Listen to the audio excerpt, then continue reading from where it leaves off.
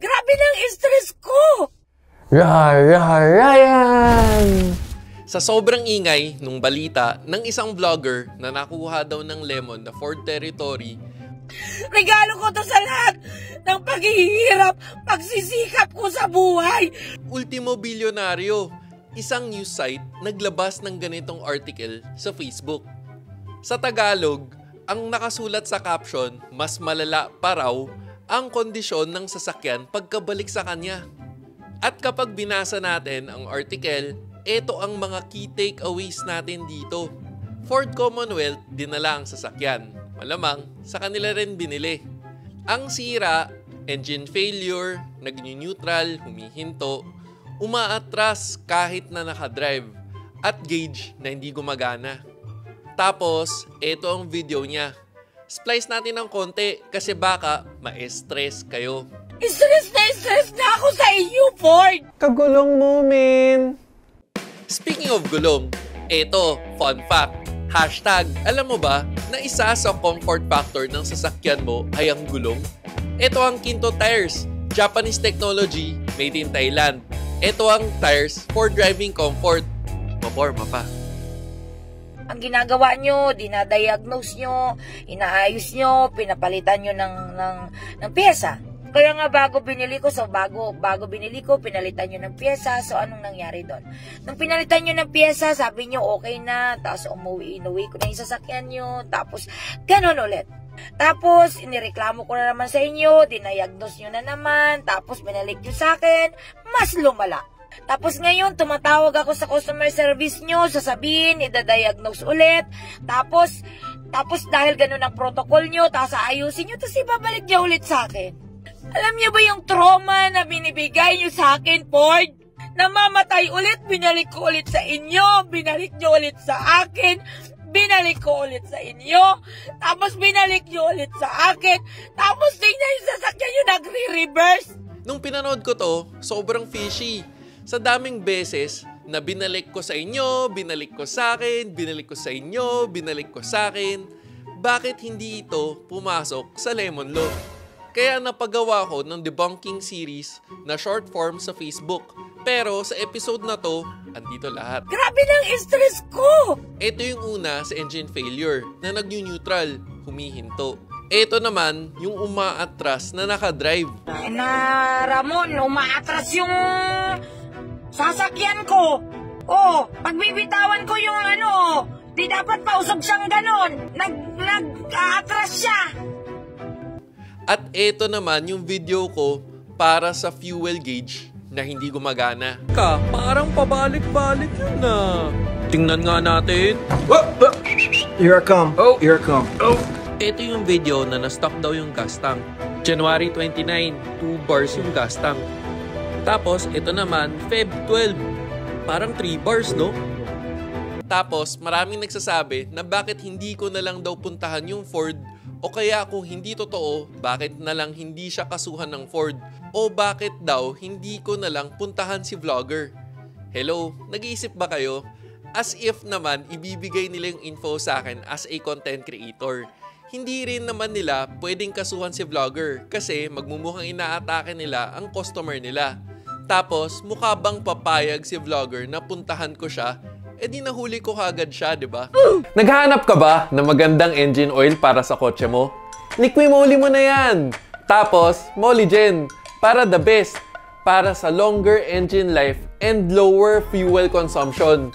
Sa technology na Moligen, sure na maximized ang engine performance and engine protection to the molecular level. Kaya para sa next change oil mo, Moligen ng Liquimoli mo na yan.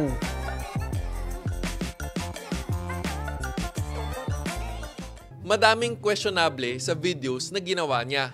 Kaya isang araw, tumawag ako sa Ford. Nagpanggap ako na bibili ng Ford Territory na nagdadalawang isip ako dahil sa kumakalat na video sa Facebook. At ang sinabi ng nakausap ko sa telepono, tinanggap naman daw nila ng maayos yung vlogger. May warranty claim sa fuel system at naayos naman ang sasakyan niya. Dito, makukuha natin ang rason kung bakit nga naman tumitirik ang sasakyan niya. Tapos, nagulat ako nung nasabi niya na December pa raw yung issue. E di napasilip ako sa video history ni vlogger. May live siya nung December. Ito pa ang mas nahagulat. Ngayon, ito-turn over nyo sa akin, inayos nyo na. Inayos nyo na. Inayos nyo na. Naayos na pala ang sasakyan niya. Pero gusto niya ay kasulatan na hindi na ulit masisira ang sasakyan niya. Eh alam naman natin na wala naman makakapag-guarantee ng ganun, di ba? Kailangan natin magkaroon ng kasulatan na pag may nangyari ulit dyan sa sasakyan na yan, yan ay papalitan ko na or isusuli ko na sa inyo. Pero bakit inayos nyo? At kapag nasira pa raw, ay palit unit na kagad. Hashtag, alam mo ba na may lemon law ang Pilipinas at applicable to sa mga new car owners para makapagpalit ng bagong sasakyan. Pero not subject to abuse. Para malaman na lemon talaga ang isang sasakyan, search na lang Real Ryan Lemon Law. Meron tayong content tungkol dito. Medyo luma na nga lang. Pero ang gusto ni vlogger, nagkasira lang ng isa, gusto niya niyang palitan ng buo. Again, December pa lang pala sa video niya mismo. Siya nagsabi na naayos na pala ang sasakyan. Ngayon, ito-turn over nyo sa akin, inayos nyo na. Inayos nyo na. Pero bakit ultimo news outlet tulad ng bilyonaryo na paniwala? Kasi Ford. At naabuso na naman ang pangalan ng Ford. Minsan, parang gasgas na nga eh. Ang secret kasi na hindi sinasabi, ito ang favorite brand ng mga content creators. Matik patok kasi. Fix or repair daily pa nga, ba? Actually, kung titingnan natin ang mga post ni vlogger, pinamukhang nasisira ulit ang sasakyan para sa content. Tingnan mo to. Ito yung live, December 10. May pinakita siyang video pero 2023, November 16, pala ito recorded. 2,421 kilometers yung odometer. Pero ito yung mga recent post niya. January 29, 2024. Caption, ano na naman ito, Ford. 2,820 odometer niya, yung na-stock yung gas. Ito, February 12, yung umaatras daw, pero hindi naman. Masyadong malabo, pero mukhang 31 or 27,000 kilometers. At February 17, 2024, yung nag-neutral, 2,277 kilometers ulit ang odometer. At may pahayag na nasira daw ulit at hindi maaasahan ang branch. At kung titingnan mo naman recent reels niya, nagagamit naman niya ang sasakyan. Ano sa tingin mo? Re-up lang ang mga videos niya? Kaya natawa ako doon sa mas recent video niya na sinabi to, In good faith ako, dapat sinole pero second chance. In good faith ako na dahil gusto ko kayo bigyan ng second chance. Kung iisipin mo, ultimo salita niya na second chance, hindi five times na same ng sira. Kaya hindi to pasok sa lemon law na pinamumukha niyang paulit-ulit. Nung sinabi niyang binalik ko sa akin, binalik ko sa inyo, binalik ko sa akin, binalik ko sa inyo, nang paulit-ulit. Eh ang balita sa akin, isa siyang pulis.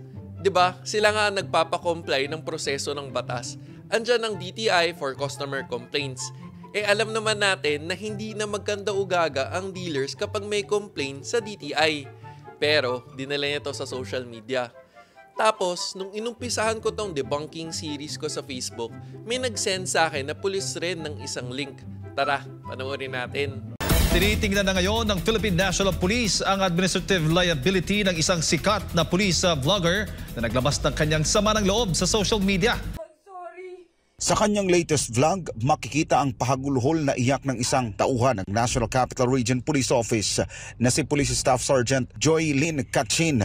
Sa panayam ng media sa Kampo Krami kay PNP-PAO Acting Chief Police Colonel Jean Fajardo, nilinaw nito na tila hindi anya naiintindihan ng police vlogger ang regulasyon sa kanilang hanay kaugnay sa paglilipat ng mga tauhan nito. Giit pa ni Fajardo mali rin ang ginawa ni Kachin na ilabas ang hinaing nito sa social media gayong mayroon namang anyang tamang opisina para ipaabot ang nais nito. Pero nito lamang araw ng Webes nang muling maglabas ng kanyang pahayag ang nasabing police vlogger at humihingi na ito ng paumanhin sa pambansang pulisya sa ginawa nitong eskandalo. Gusto ko lang talagang gawin to kasi para mag-sorry. So anong tingin mo? Naulit na naman ba ulit ang kwento na hindi naintindihan ang regulations? At in good faith nga ba niya talaga to ginawa? Alam mo, ayoko na sana mag-conclusion pa para sa video na to. Pero alam niyo naman ako, galit ako sa mga content creators na nagkakalat ng misinformation. lahat ng kotse may tsansang masira tulad ng fuel system, kaya importante ang warranty. At kung napatunayan nga na lemon ng isang sasakyan, andyan ang lemon law para mapalitan. At hindi dahil vlogger ka, pwede mong gawin ang kahit ano sa social media. At kung hindi, debong ka sa akin. Joke lang. Hashtag, alam mo ba, na number 3 best-selling brand ang Ford noong 2023? Syempre, dahil maganda ang product lineup, kaya malakas ang benta. Kaya ano sa tingin mo, isa na naman ba tong Ford abuse or Ford abused? Sana nakatulong. O teka, pag may nakalimutan man ako, comment down below. This is me, Real Ryan, bringing you real talk, real experiences, and real reviews. Don't forget to subscribe, like, and click the notification bell. Thank you for watching. Peace.